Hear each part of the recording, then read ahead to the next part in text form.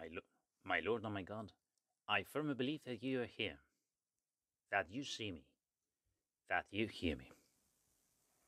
I adore you with profound reverence. I ask you for pardon of my sins and grace to me this time of prayer fruitful. My Mother Immaculate, Saint Joseph, my Father and Lord, my guardian angel, intercede for me.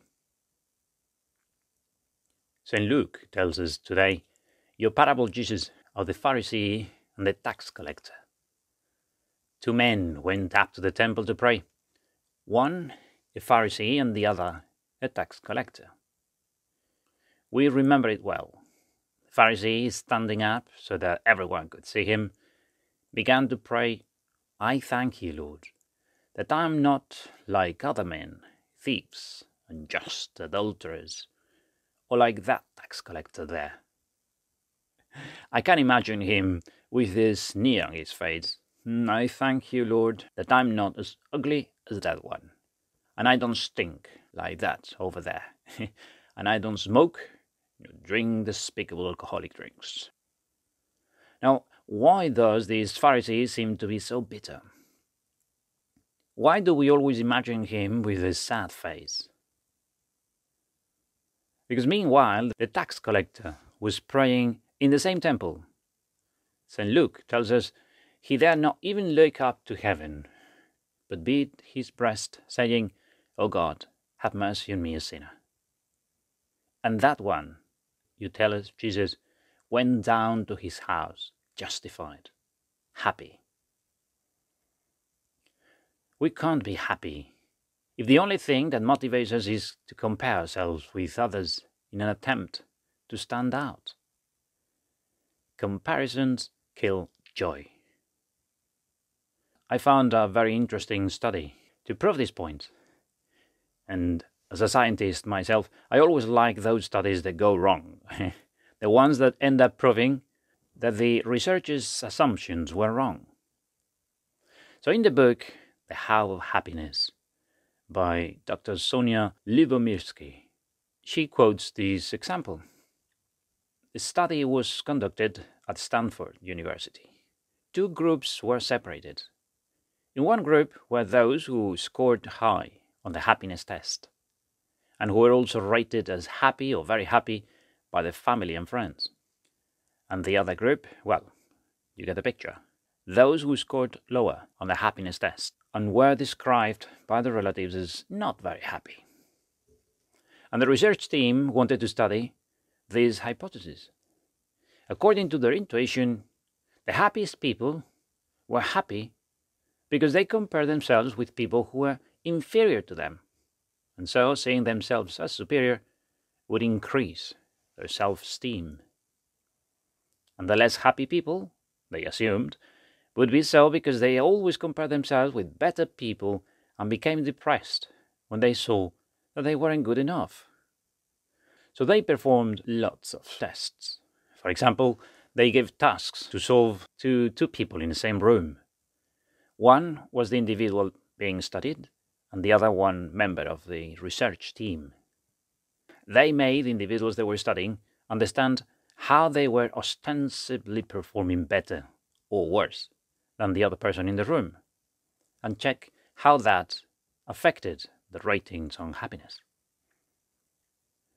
So the idea was to see how it affects a happy person to be faster or smarter than another person, and how it affects them to be with someone who is smarter or faster than them. And obviously, the same test was performed with the other group, the unhappy group. Well, they didn't expect the results. It turned out that the happier people couldn't care less about what the other person in the room was doing. it only affected those who were unhappy. Basically, the happy people couldn't care two hoots what the other did. Happy people simply didn't compare themselves. I love the results of the study. And it's very evangelical.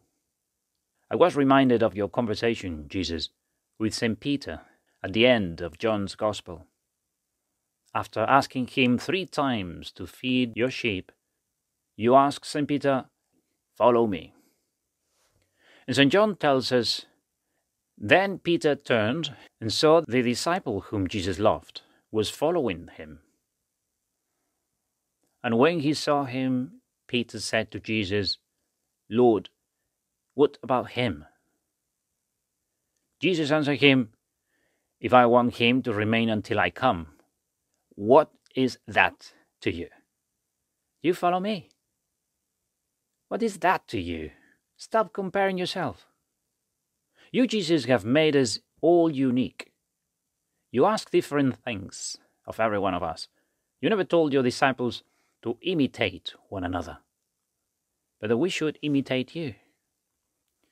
You told us to follow you, and not some TikToker or YouTuber or Instagrammer or influenza.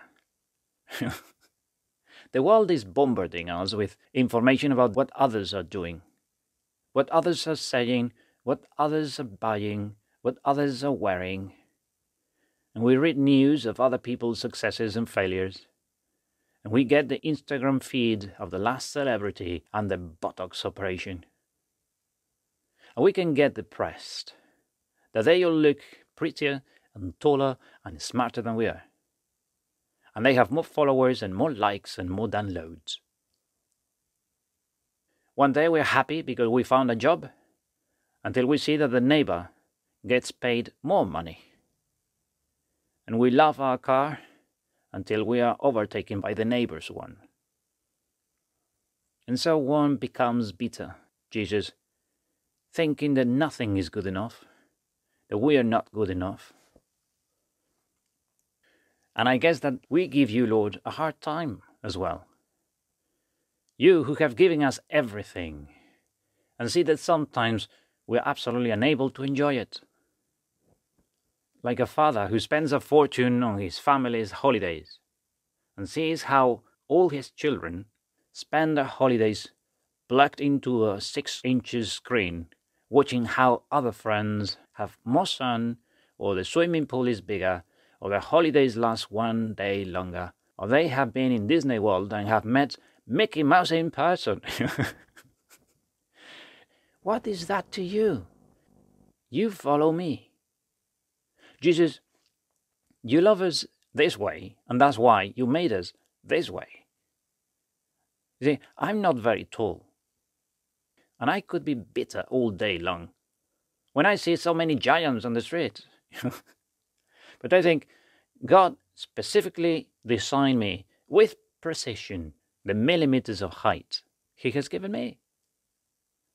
And besides, I can always find clothes my size in every shop. now I know that some people think my ears are big. Well, most ears seem ridiculously small to me, and I don't say anything. Okay? I'm like the grandmother in Little Red Riding Hood. Because they are to hear my penitence better. okay, that there are people smarter than me. Good for them. Let them do more sudokus. I'm gonna play football with my friends. Comparisons kill joy. They rob us of happiness. In your eyes, Jesus, I'm perfect as I am. I'm happy as well.